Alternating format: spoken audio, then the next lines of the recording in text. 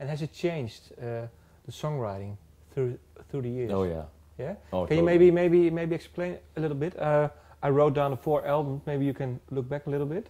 Well, um, which one are you starting with? The state or The state, yeah, state. The state was like peeing in the corner. Get out of here! I'm doing my. Hang on, I'm writing. I'm writing the stuff. Hang on. What? But he, he's the prolific writer, right? He's the guy that that's what he does. He, some guys can just get up and they can just write and write and write and write, and some guys just that's not their thing. He's one of those guys. So, um, you know, he did all that, all the all the you know, the majority of the writing. We come in with, um, you know, ideas I have various things. Like I, I wrote, I'll write the, the, the half of "Breathe" on the state, the the, the chorus and Mhm. and the harmonies and and uh, oh, pardon me, the, the verse, pardon me, and the harmonies, and uh, you know, we'll add our parts here and there. So you actually you get a bit of a flavor, but overall the feeling is is you know the the original songwriter. So Chad's feeling of the song kind of came through because he wrote all the lyrics, especially right.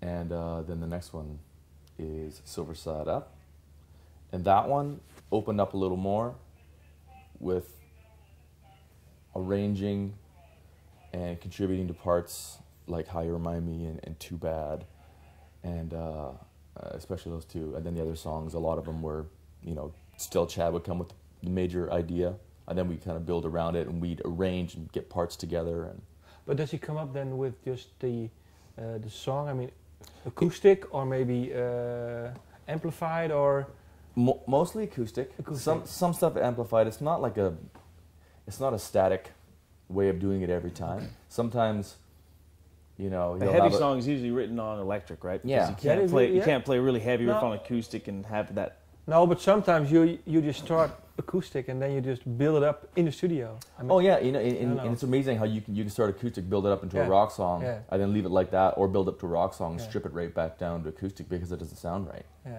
Okay. It's ran, it's quite random actually how it Yeah, okay. Yeah, and and, the, and then the long road was was um, oh, I got to go back to the long road.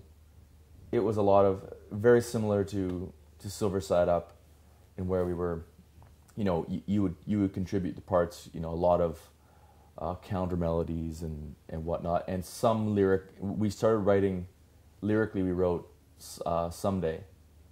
We kind of contributed parts to that and, and wrote someday a little more as a group than we had ever done before.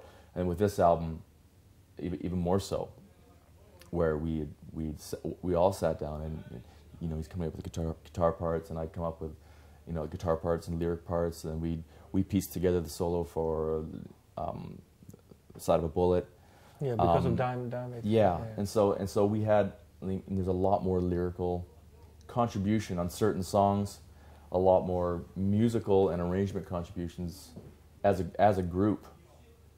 Uh, and it, and I don't know. I mean, it, I guess it's it's a bit more. We're we're opening up to exposing ideas more because it's hard to kind of put something out there and you know hopefully nobody says it's stupid, Yeah, right? yeah, if you're not a if you if that's not always been your thing that you're like know, a I- full blown songwriter, it's kind of hard and you know you know trying to lay that out there. And for Chad, it's kind of hard to, for him, that's what he that's what he does. But in order to mix it up a bit, he's got to let go of some of that, and so it's hard, hard for him as well. I think it's all. I, I, I think it has to do with trust.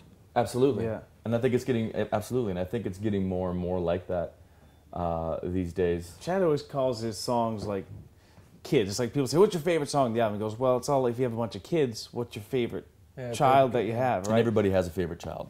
Don't let But them they'll never. But they'll but never. they'll never tell you. Well, I guess that would be like giving your child to a babysitter for Oh, the day. okay. Be like a trust thing. Like, Yeah, I know what okay, you- here yeah, it yeah. is. Just Yeah, no, totally, totally. And and again, some of the songs he'll go, here's basically I've got the lyrics, or some of the songs will go, I'm thinking of, you know, da da da da da da. da. Okay. Okay, let's see. We can go. That song on the wall was called da do "Dee da Dup da Doop do Dop da-do, Dee Doo." That was the name of that song.